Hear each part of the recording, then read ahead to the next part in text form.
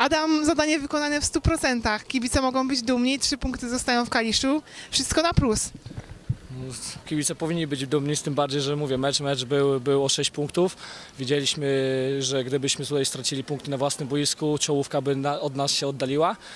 Wygraliśmy, mamy 3 punkty, mamy kontakt, mówię, tak jak powiedziałem, z czołówką. Jedziemy do środy w, we wtorek po kolejne punkty i mam nadzieję, mam nadzieję, że to wszystko będzie na plus. No to dodało wam to zwycięstwo duży skrzydeł i teraz trzymamy kciuki, żeby rzeczywiście utrzymanie wyszło nam na plus i wszystko będzie ok.